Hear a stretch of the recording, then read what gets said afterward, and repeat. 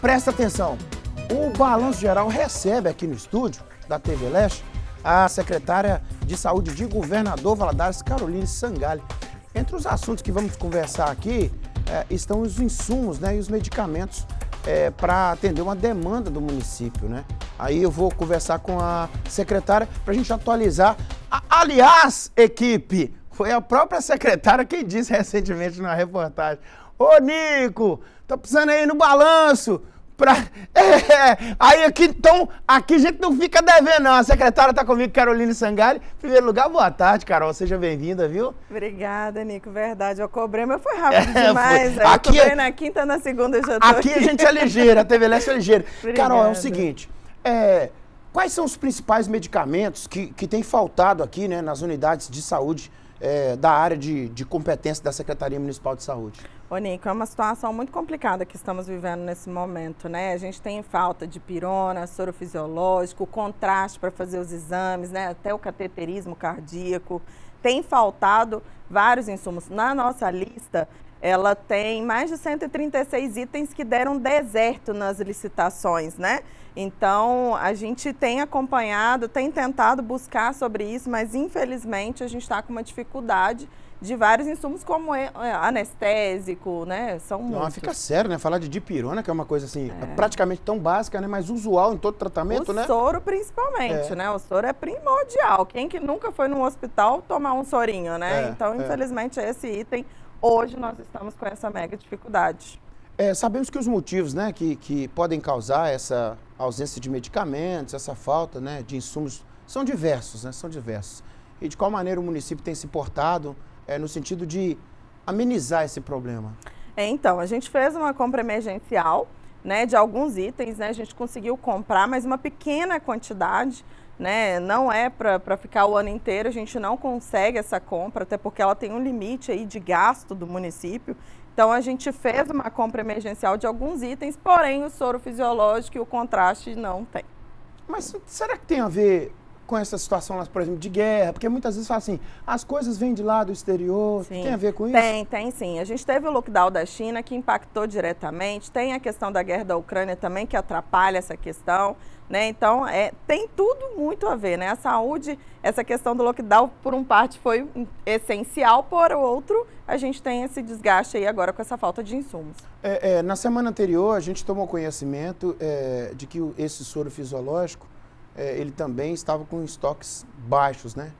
Como é que a secretaria tem agido para amenizar isso aí, tendo em vista ser tão básico esse soro, né? Ô Nico, desde fevereiro que nós, eu participo da CIB, que é a Comissão Intergestores Bipartite. Eu represento Valadares e os outros 853 municípios. Então, eu tenho diálogo sempre com o governo do estado. Então, desde fevereiro a gente tem conversado sobre isso, a gente tem levado essa pauta da falta de insumos né? A gente tem pedido socorro, mas infelizmente a gente ainda não tem, não tem tido respostas como a gente gostaria de que vamos resolver. Né? Então, a gente tem trabalhado, além da compra emergencial, a gente tem levado isso via ofício para o Ministério da Saúde, para a Secretaria de Saúde do Estado, mas infelizmente a gente não teve resposta positiva até o momento. Agora, secretária, uma pergunta importante que talvez a pessoa de casa lá possa estar fazendo, né, diante desse quadro todo.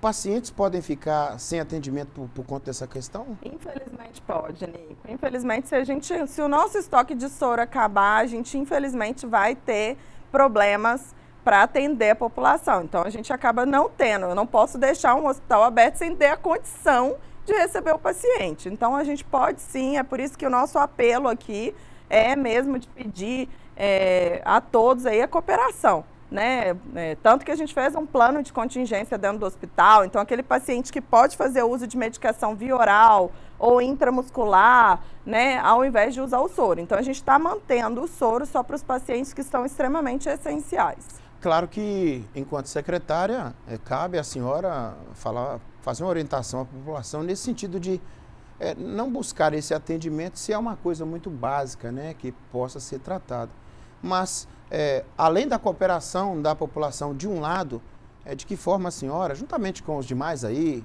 é, envolvidos aí no, no, Executivo Municipal, de que forma é, vocês têm agido enquanto governo para tentar é, amenizar ou solucionar isso de forma imediata? Então, a gente, além do plano de contingência que a gente orientou os nossos profissionais a como atender, o prefeito ele tem, assim, a, a saúde ela é tripartite. O que, que é isso? O financiamento é do Ministério da Saúde, da Secretaria de Estado e, de Estado e o município.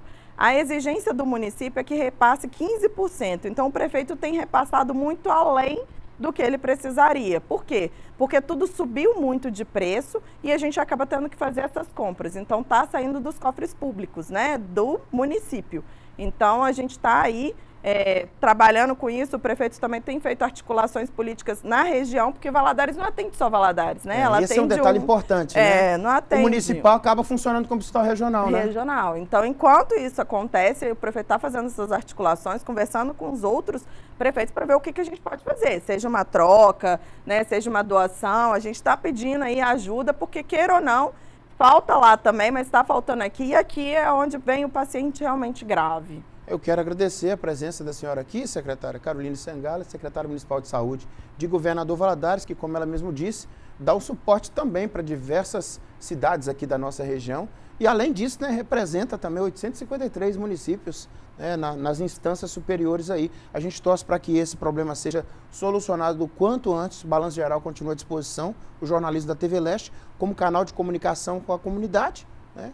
Seja sempre bem-vinda, sempre que puder estar com a gente aqui ao vivo no estúdio, a gente faz questão. E quero agradecer, é, através da senhora, agradecer a turma do setor de imunização, os demais profissionais da saúde que sempre atendem prontamente aqui o jornalista da TV Leste, porque não é só o prazer de receber vocês aqui. É o prazer de informar, né? Que é o dever maior da gente enquanto comunicador. Muito obrigado, viu? Nossa, a gente que agradece. Acho que é extremamente importante a gente ser transparente e falar a verdade. Estamos passando por um momento difícil e se a gente não tivesse esse canal, a população lá na ponta ela não saberia. Então eu que agradeço em nome de toda a equipe que trabalha incansavelmente, não é porque é saúde não, mas o povinho que trabalha é o pessoal da saúde então, agradeço a todos vocês da equipe por receber a gente, né, por informar a população, dar essa transparência, que eu acho que o importante é isso, é a gente saber do problema e tentar superá-lo. E aí pode contar com a gente que a gente vai estar tá fazendo. E quando eu precisar, não só de notícia ruim, notícia boa, eu vou trazer aqui também. Por favor, muito obrigado. Obrigada, muito obrigado, secretária. Eu quero fazer menção aqui, equipe, ao Diego Dunga, né, jornalista competente aqui